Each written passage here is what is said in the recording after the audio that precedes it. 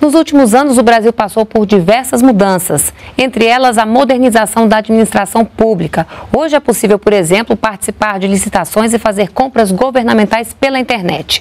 O cidadão também pode agendar um atendimento no INSS por telefone sem sair de casa.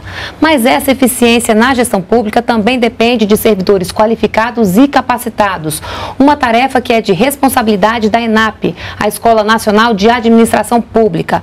Para falar sobre o assunto, convidamos Gleison Rubim, presidente da ENAP. Olá, seja bem-vindo à NBR Entrevista. Muito obrigada pela sua presença. Obrigado pela oportunidade. Bom, por muitos anos o serviço público estava ligado àquela imagem de demora, longas filas, dor de cabeça, aborrecimento. Isso aí é coisa do passado?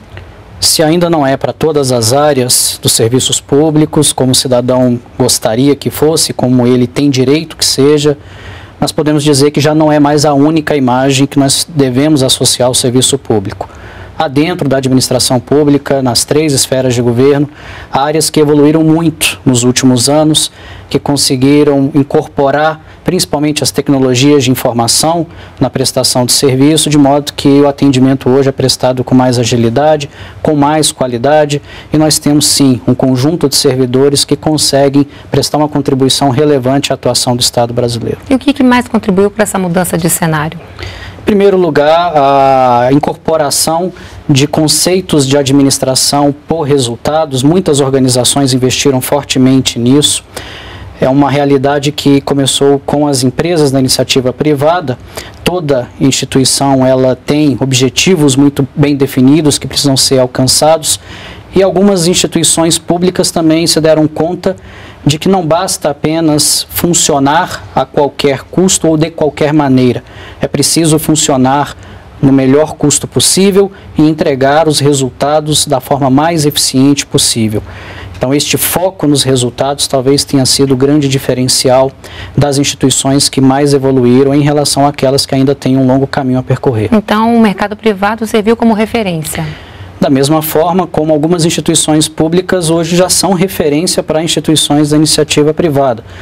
É, nós temos dentro do serviço público algumas áreas que se destacam em cenário internacional. Né? Todo mundo reconhece, por exemplo, que o país tem um dos melhores sistemas eleitorais do mundo. Né? Muitos países vêm ao Brasil para conhecer como funciona essa estratégia de colher a manifestação de intenção de voto, do voto de é, 100 milhões de eleitores e disponibilizar o resultado algumas horas depois não é uma empresa privada que produziu essa evolução, senão uma instituição pública. E aqui estou me referindo a apenas um exemplo, mas nós temos aí vários casos em que o serviço público já pode sim ser considerado uma referência em termos de boas práticas. Bom, a gente tem também o programa de declaração do imposto de renda, né, que a cada ano vem se modernizando, tem o atendimento 135 do INSS, que você pode agendar esse atendimento por telefone, né, tudo isso com foco no cidadão para facilitar realmente a vida do cidadão. Sim, imagina-se, por exemplo, que a primeira edição do Enem, em 2009, nós tínhamos 3 milhões e meio de alunos participando daquela, daquele exame, para esse ano são esperados mais de 10 milhões é, de participantes. Houve uma série de problemas do ponto de vista da logística, questões de segurança da prova, sim, mas tudo isso serviu também como aprendizado e como evolução. E hoje, de novo, a exemplo das eleições, essa avaliação do Exame Nacional do Ensino Médio não encontra é, em qualquer outro lugar do mundo um equivalente, pelo menos não nesse nível de, de magnitude, de número de pessoas envolvidas. Agora não basta só a tecnologia, né? Preciso também ter um, um corpo, enfim, funcionários, servidores capacitados, né? E o que a gente observa hoje no serviço público é que os concursos são realmente de alto nível, né? E selecionam realmente os melhores, né? Exatamente. E mais interessante, a área da gestão pública se constituiu como uma área de conhecimento, com cursos em nível de graduação, já com alguns programas de pós-graduação, de modo que um, um, jovem, uma jovem, ele hoje pode, ele ou ela podem é, escolher a área da gestão pública como profissão. Né? Durante muitos anos, a administração pública teve ali servidores que eram egressos de outras formações acadêmicas. Ninguém se preparava para ser servidor público. Então, hoje nós temos essa possibilidade de que os novos ingressantes da administração pública já tragam toda uma formação acadêmica muito sólida, muito bem conduzida durante o seu período de universidade e, naturalmente, a maior procura pelos cargos públicos tem feito com que os processos seletivos sejam a cada ano mais disputados, mais rigorosos e, consequentemente, nós é, tenhamos observado uma elevação na escolaridade das pessoas que ingressam é, nos diversos órgãos da administração pública. Quando a gente fala em servidor público, a gente está falando no universo de quantas pessoas? Se nós considerarmos os servidores civis e que estão na ativa, no Brasil hoje nós temos aproximadamente 633 mil servidores. E aí tem um dado interessante: muita gente pensa que o Distrito Federal congrega a maior parcela desses servidores. Na verdade, o Distrito Federal tem apenas 11% da força do funcionalismo público federal no Brasil. Inclusive, o Rio de Janeiro, ainda hoje, é, tem o maior contingente, com 50% a mais de servidores que o Distrito Federal. Mas nós temos a região Nordeste, por exemplo, com 22% do total de servidores públicos é, do país o Sudeste com 37%, o Centro-Oeste, onde Brasília está inserida, com 18%. Então, é uma visão, às vezes, equivocada de se achar que em Brasília está é, é, a meca do serviço público. Naturalmente, é onde estão os órgãos que definem as políticas para o país.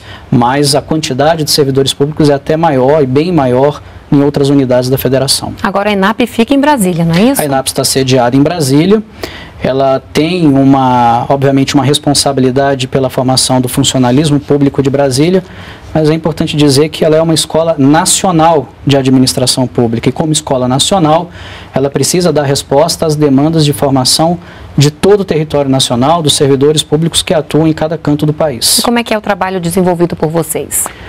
Bom, nós poderíamos resumir o trabalho da ENAP em três grandes frentes de atuação. Uma delas, a primeira delas, está mais voltada para aqueles servidores que lidam no seu dia a dia com as principais rotinas de um órgão público. Estamos falando aí das licitações, dos contratos, da celebração de convênios, das transferências voluntárias, da, da tramitação de documentos, da administração de projetos. São áreas de atuação da administração pública para o desempenho da atividade fim do órgão, seja ela qual for. Então, essa primeira linha nós chamamos na ENAP de desenvolvimento técnico gerencial. Tem uma segunda frente de trabalho mais focalizada nos servidores que ocupam cargos estratégicos na administração pública. Aquilo que em cada país é chamado de alta administração. Em particular, a formação de alguns servidores de carreira, de algumas carreiras que são estratégicas para o Estado.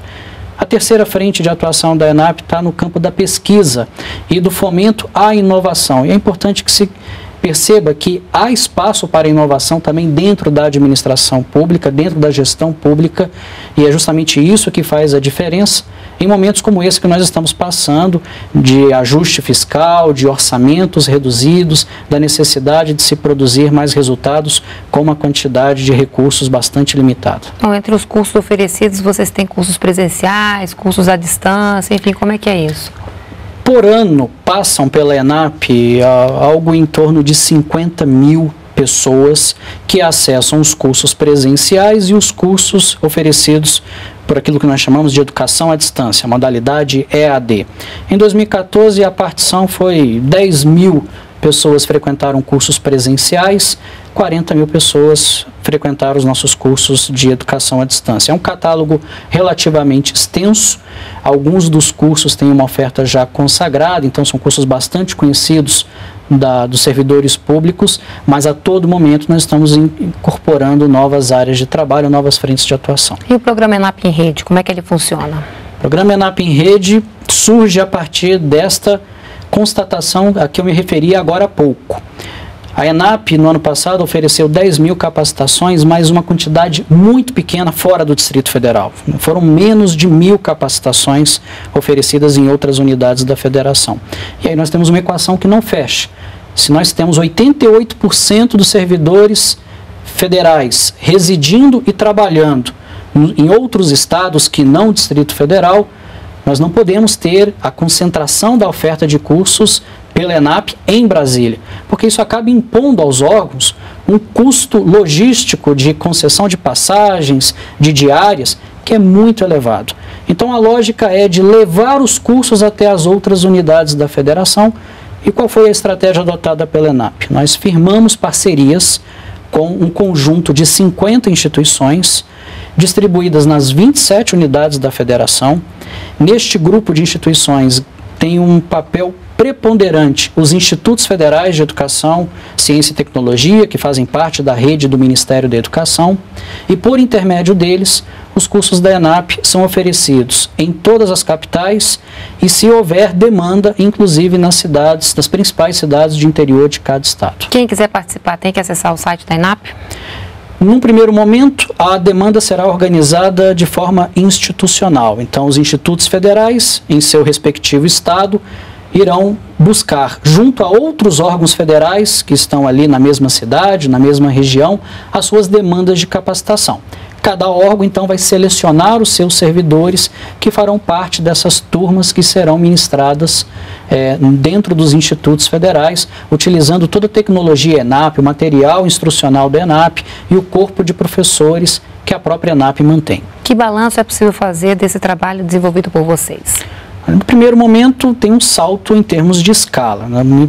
Falava agora há pouco do conjunto de servidores formados em outras unidades da federação. Em 2014 foram um pouco mais de 600 servidores.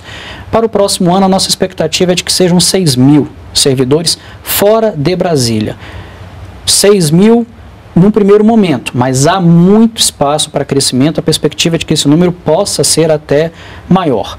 Há também um ganho em termos de recursos que é expressivo. Para você ter uma ideia, um formação de um único servidor é, em Brasília pode custar mais do que uma turma inteira oferecida fora de Brasília. Falávamos de 6 mil docentes, 6 mil é, servidores formados.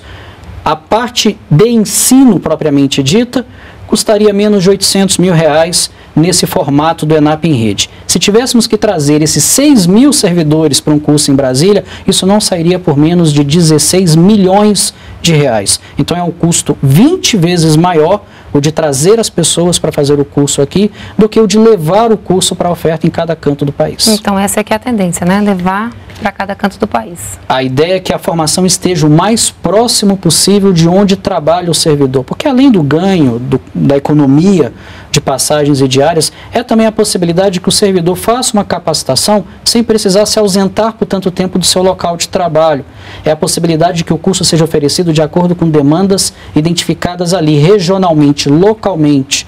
É a possibilidade principalmente de que os órgãos invistam num número maior de pessoas formadas e é isso que vai dar o resultado que o país espera. Tá certo, então muito obrigada pela sua participação aqui no NBR Entrevista e até uma próxima oportunidade. Eu que agradeço, até a próxima. Obrigada mais uma vez. Bem, outras informações em www.enap.gov.br e para rever essa entrevista é só acessar a nossa página no YouTube, www.youtube.com.br Muito obrigada pela companhia e a gente se vê no próximo programa.